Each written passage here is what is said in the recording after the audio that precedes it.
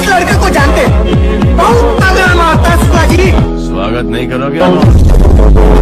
करोगे